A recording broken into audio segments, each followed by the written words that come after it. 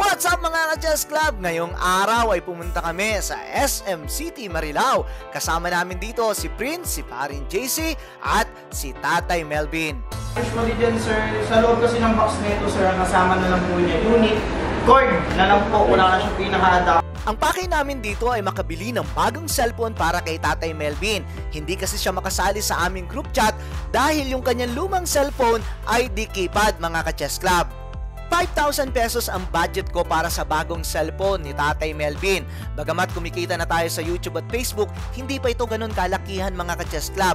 Tamang pang-ulam at pang-merienda pa lamang ito. Kaya nga naghahanap tayo ng mga entry-level na cellphone na kung saan quality pa rin ang mga specification. Kaya paikot-ikot kami sa different store dito para mag-canvas at makakita ng quality at murang cellphone. Ng napagtanungan namin ay dito kami nagka-interes sa Megapixel. Maganda kasi ang kanilang mga freebies mga ka-chess club. Pero sino nga ba si Tatay Melvin at bakit natin siya binibilhan ng cellphone? Si Tatay Melvin ay isa sa mga haligan ng Bukawi Chess Club. Isa rin siya sa tatlo sa nangangasiwa ng ating chess club kasama itong si Parin JC at si Emil Waskin. Araw-araw sila ang nagbubukas ng ating palaruan, sila rin ang nag entertain sa ating mga bisita at kapag kami mga batang gustong matutong maglaro ng chess, tinuturuan din nila for free. Walang bayad ang serbisyo nila Tatay Melvin, Parin JC at Emil. Bulon tourism yan mga ka-chess club. Binata itong si Tatay Melvin at passion niya talaga ang paglalaro ng chess kaya sinishare niya. Pa-double check po kung may gas-gasan naman physical namin. Finally, nakapili na ng cellphone si Tatay Melvin at kulay green ito. Nagtatry lang, nakakonect na ba to?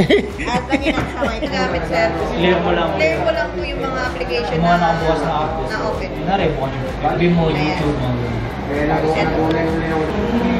days replacement po tayo for back 55 Kulang Kitang-kita ko sa mukha ni Tatay Melvin kung gaano siya kasaya at excited gamitin ang bagong cellphone. Ayos. So okay na lahat.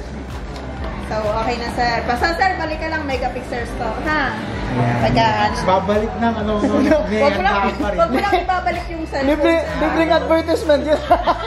Pasimpleng ano ah. Pasimpleng advertise si ate ah.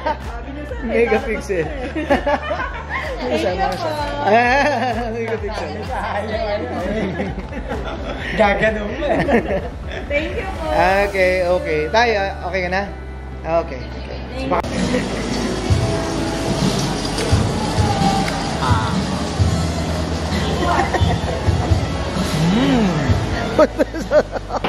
Tayo, Mabi, ano masasabi mo sa bago mong cellphone? Aba, maganda. Thank you.